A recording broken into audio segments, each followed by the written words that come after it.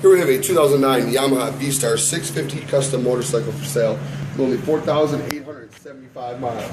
This bike is nicely equipped with saddlebags, windshield, backrest, floorboards, and tons of chrome.